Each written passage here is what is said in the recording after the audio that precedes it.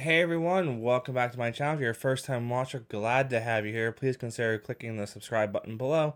That way you'll be getting all the new content that I have coming out because we are full force ahead spring and, um, I'm sorry, fall and winter time. Uh, I do have a review for you today of a summer candle. I wanted to sneak that in here uh, real quick. And of course, that is a Bath and Body Works candle of waffle cone. So uh, before we start, if you're looking for me to compare this to any previous version of waffle cone, I cannot. I do not have any experience with those um, those other versions of waffle cone. if it was just one, you know, it was a berry waffle cone. Now it's just called waffle cone. So uh, I do not have any experience with the old ones. So let's get that out there right now. So this came out uh, right after SAS or during SAS, but it was not on sale.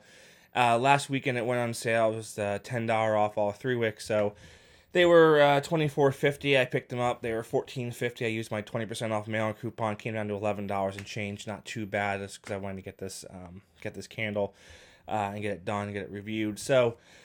what do we have here? So this is part of, I guess, Polaroid collection. I don't know, but this isn't really like the others um, as far as the labeling goes. This is a picture within a picture, uh, just square on the front there. You've got your vanilla ice cream waffle cone in the back. And in the front, you've got, which is presumably the beach, and that's a beach umbrella looking up at the sky. So, nice white metal lids there. Uh, 14.5 ounces, 25 to 45 hour burn time. Waffle cone is the name, not berry waffle cone, so it is just called called waffle cone this year.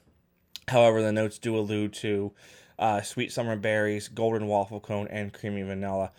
Uh, so, before we get off and talk about the scent and everything, um, unfortunately, on the first or second burn, it was um, it was starting to get really puny flames, and I did have to uh, cotton ball cotton ball it. So if you're not familiar with cotton balling in the wax community, it's when you uh, uh, blow the candle out, you know, extinguish it, and then you take a, a cotton ball with like a you know just put it on something, and you dip it into the wax while it's still liquid, and what that does is it sucks up the, it absorbs the liquid into the cotton ball, so it allows more room for the flame to grow.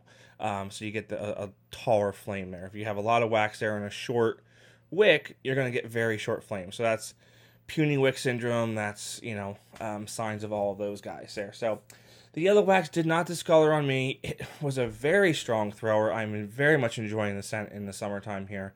Uh, I will keep burning this. Um, was I've been burning a lot of fall candles lately, so having this um, there was very nice. So this candle um, basically reminds me of walking into an ice cream shop, or if you have like a, a local homegrown ice cream shop that happens to make their own waffle cones, or by me in the town called New Hope, there's this place called Nina's Waffle House, and what it is is basically they create their own uh, homemade waffles and then they put toppings on it, whether it be ice cream or whether it be you know uh, fruit or something like that. Um, that's what I get. So when you go in there, you get this atmosphere. You know, it's cold, right? The air conditioning's on, and then you've got this the smell of the the vanilla ice cream with that home baked, um, right out of the oven, right out of the skillet there, uh, waffle cone. I don't get much um, berry in this. If I get any berry, uh, primarily I get that waffle cone with the vanilla there. It's a nice warm scent yeah, it's it's a very nice warm scent. It is room filling. Don't get me wrong. It is a very very strong thrower. Uh, like I said, the only issue I had with it was just the the cotton balling of the wicks there.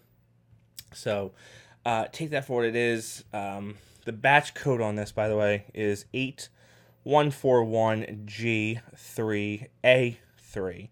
Uh, retailing for twenty four fifty. You can get them on sale for twelve ninety five most of the time. I'm not sure how long this collection is going to be out in stores because I'm hearing that July 23rd um, is part one of the of the fall floor set at Bath and Body Works, at least in the White Barn stores.